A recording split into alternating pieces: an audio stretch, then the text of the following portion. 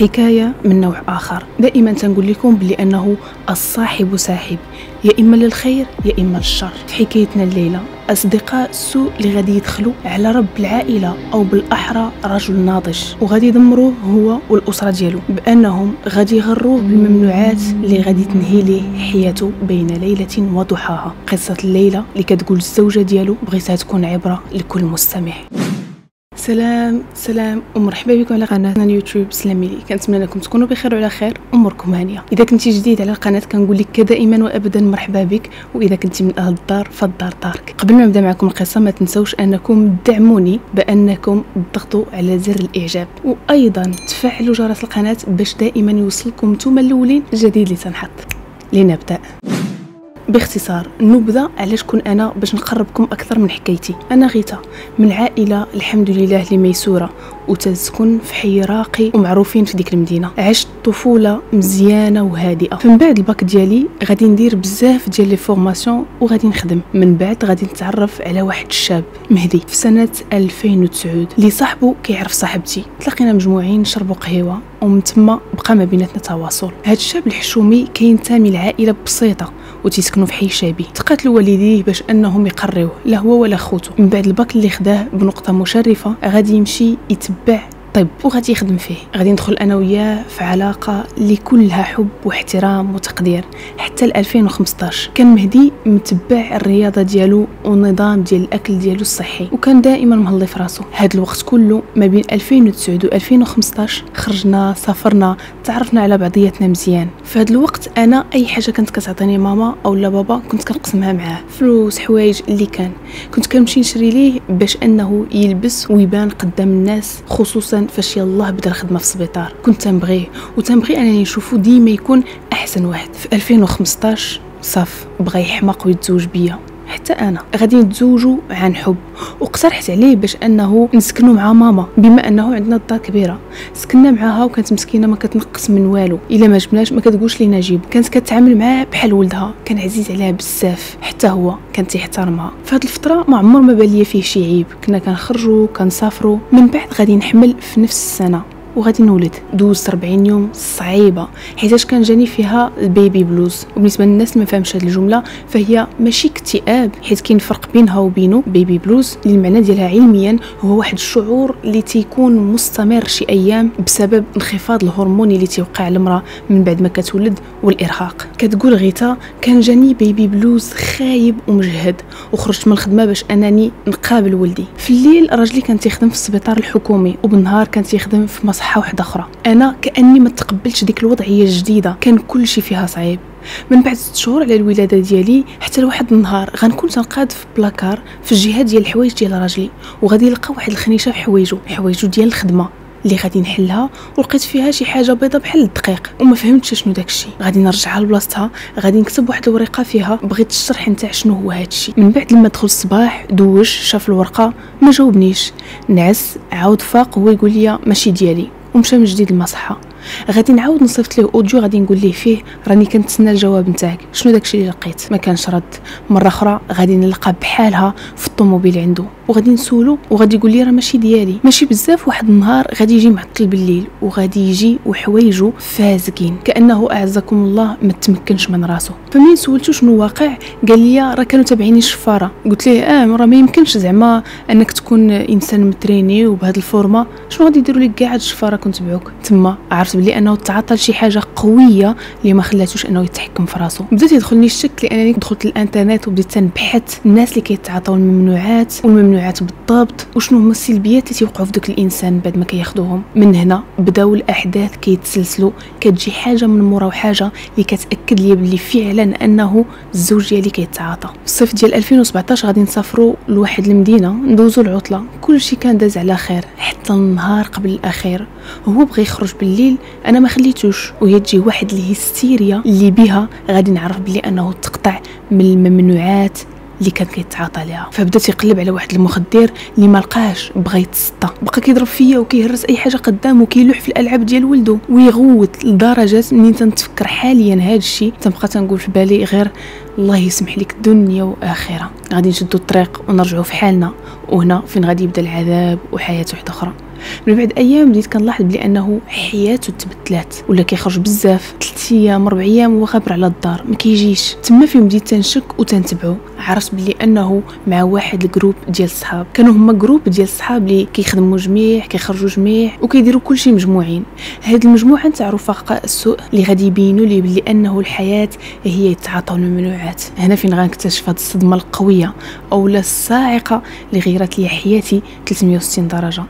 تخاصمنا تغوتنا تفرقنا لمدة طويلة. اللي فيها هو كان كيغرق في هذا العالم ديالو ديال الممنوعات. أنا غادي نمشي نعلم خوه وغادي نقول ليه أشنو كيدير مهدي. الجواب ديالو هو ما عندي ما ندير لك. صدمني وأنا نقول ليه صاف شكرا أخويا. أنا كنت باغاك غير باش تعاوني ونتعاونوا عليه كاملين. ما حدو يلاه بادي ما جاوبنيش وزاد خلاني. من ديك النهار ما بقيت جبت مع حتى شي حد من عائلته الموضوع نهائيا. راجلي اهمل راسو. وما بقاش داك الإنسان الطموح الإيجابي. مشى في العالم ديال الليل مع دوك اصحاب السوء اللي غرق معاهم في ديك المصيبة. واش كان اختياري أو لا ماشي اختياري؟ الله أعلم. تخيلوا لدرجه كنعيط لصحابو كنبكي عليهم وتنقول لهم حشومه عليكم. راه عنده وليد عطوه اتساع تيقولوا لي هذه هي حياته خصك تقبليها. المهم كيف قلت لكم في الفترة اللي كنت مفارقة معاه حيتاش تخاصمنا كنعقل بالليل كنت ناعسة. وكان حدايا ولدي مع الشي ربعة ديال الصباح غادي يصوني عليا تليفوني ألو؟ بديت تنسمعو تيبكي وتيقول لي سمحي لي وغيقول لي بلي أنه دار شي حادثة. غادي يدخل مع 6 ديال الصباح للدار وكيجي كيعنقني وكيبوس على راسي ويبوس في ولده اللي ما شافوش لمدة عام وتيقول لي سمحي لي من بعد غادي نسولو علاش كدير هذا الشيء ما عطانيش جواب.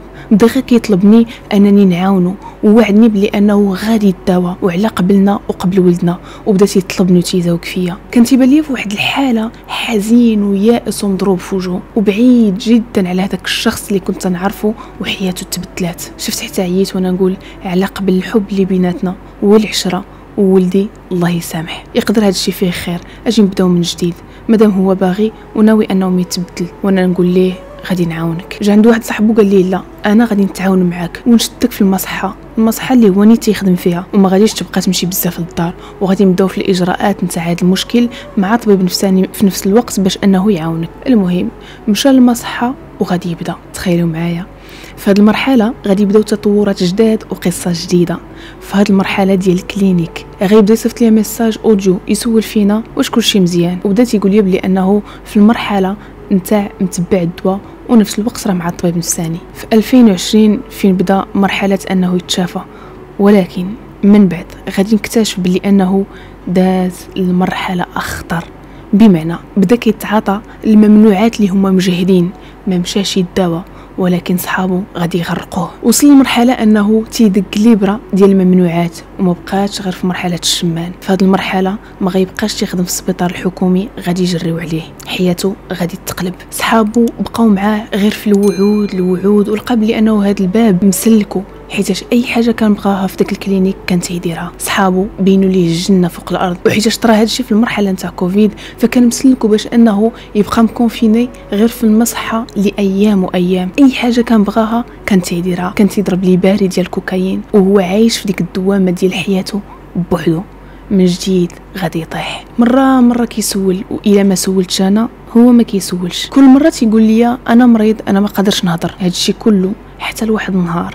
غادي توصلني واحد المكالمة من عند واحد البنت اللي خدامة معاه تما في داك ال clinique اللي غادي تقول لي السلام عليكم واش أختي انت غيتا. قلت لها آه. قالت لي بغيت غير نقول لك بلي انه راجلك الله يرحمه مات تصدمت. تنقول لها واش كتهضري معايا من نيتك؟ هزيت الطوموبيل خليت ولدي ومشيت تنجري للكلينيك. دخلت بديت كنسول عليه فينا هو. حتى حد ما بغى يجاوبني. كاع دوك اللي خدامين تما تيدخلوا كيخرجوا في الهضرة. هما اللي خدامين معاه. حتى غادي يخرج واحد السيد اللي خدام تما. وهو يقول لهم واش مازال ما قلتوش ليها؟ وهو يدور عندي قال لي مدام. مهدي؟ الله يرحمه. كنقول ليه شنو هو السبب؟ أنا جيت لهنا باش نعرف شنو هو السبب باش مات راجلي وهو حياته كلها ورياضي ومقابل غير راسو ومقابل غير حياته. علاش درتو فيه هذا الشيء علاش يتمتو ليا ولدي؟ بقيت تنغوت وتنقول حسبي الله ونعم الوكيل في كل واحد فيكم. والله ياخذ فيكم الحق. غادي يهبطوني. شفتو وسبحان الله. عطاني ربي واحد الثبات. أنني بديت كنقلب ليه في لحمه كله وكنشوف الآثار ديال داك الشيء كله اللي خرب حياته. وكنبكي بالدموع. فراسي كيدوز لي الماضي نتاع الذكريات والخير اللي دوزنا. وكيفاش حياتنا تقلبات في رمشة عين. من بعد ما دوز ديك الليلة في مستودع الأموات. أنا صباح غادي نرجع وغادي يبدأ كل واحد يقول كلام في شكل. كنت حسيت بلي انه شي حاجة ماشي حتى لهي. ديك اللحظة جاتني واحد الفكرة وحدة في الراس. هي أنني ندوي للبوليس. حيت عندي ولدي؟ غدا ولا بعدو فاش غادي يولي راجل غادي يسولني كيفاش مات باه علما أنه وهو طفل عنده واحد الصورة عليه أنه إنسان صحيح ورياضي. ولكن الداخل ديال باه ما كانش عارفه جاو البوليس وحسوا بلي أنه كاين غموض في هذه القضية وقالوا لي بلي أنهم غادي يديوه للتشريح. صحابو شي بدا كيشوف شي كلشي كيتفتف وتخلعوا ما عرفوا ما يقولوا أنا مشيت للكوميسارية الجمعة السبت الحد عاد باش عطوه لينا ودفناه حاليا ولدي عنده خمس سنين ونوعا ما مازال ما واعيش بلي أنه باه ما بقاش غادي يشوفو. ما نقدرش نقول ليه بهذا المعنى بلي انه باك مات حيتاش فقط نهار نتاع الحداد اللي لبس فيه الابيض كان مصدوم في ديك الفترة كلها لدرجة انه ما بقاش تيحمل اللون الابيض تبارك الله عليه ذكي وتنحاول باش انني نتعامل معاه بالذكاء ديالو. هو عارف بلي انه باه ما كاينش. وتنقول ليه بلي انه راه مشى في واحد السفر اللي هو طويل. ومنين كندي معايا القبر تيبدا يقول لي أنا راه عارف بلي انه بابا تيسمعني. مرة مرة تنكتب أنا وياه شي رسالة وتنقول ليه بلي انه راه باباك تيسمعك. ويمكن لك تدوي معاه. المهم كنحاول أنني نتعامل معاه بالطفولة ديالو بعيدا عن قساوة الحياة والكلمات ديالها. وإذا كنتو غادي تسولوني على العائلة ديال المرحوم اللي كان هزهم فراه من نهار مات ما بقاو سولوا فينا لا أنا لا ولدي. أما بالنسبة للقضية اللي كنت درت بها شكاية عند البوليس فديك المصحة غادي يحاولوا باش أنهم يسدوها. وفي ديك الفترة كنت أنا ملهية في العزاء وفي الحزن وما بقيتش متبعة الأمر. لأنه كل شيء واضح وكل شيء باين بغيت غير نقول لكم القصة ديالي المختصرة. ما تيقوش نهائيا فالصحبة كتخرج على الناس. والله العظيم إلى راجلي كان إنسان طيب وداخل سوق راسو مجتهد وتيصلي وكان متبع الرياضة ديالو. جاو ناس بلا ضمير بين ليلة وضحاها. خرجوا عليه وعليا ويتموا ليا ولدي. أنا لحد الآن ولا حد اليوم ما عرفتش لا علاش ولا كيفاش دخل لهاد الطريق. ولكن اللي عطى الله عطاه. هذه هي حكايتي. وهذه هي حكاية غيتا. قالت لي بلي أنها ما كرهتكمش أنكم تدعيو مع راجلها بالرحمة لانها مسامحاه وعارفة بلي أنه ما يكونش مشى لداك الشيء بخاطره. وكتقول لي بلي أنه عمرها ما غادي تسمح لحتى شي حد اللي كان سبب في أنه يتبلى أو لا حتى في الموت ديالو. يا مشاهدين يا كرام ردوا بالكم مع من كتصاحبوا كيف قلت لكم في بداية الحلقة الصاحب وساحب يا إما لطريق مولانا ويرتقي بك الفوق يا إما للشر ويدخلك عند الشياطين. ما تنسوش كيف العادة أنكم تخليوا الغيتا كلام طيب وترحموا لها على راجلها. دمتم في رعاية الله وحفظه. نتلاقاو فيما قريب سلام. سلام.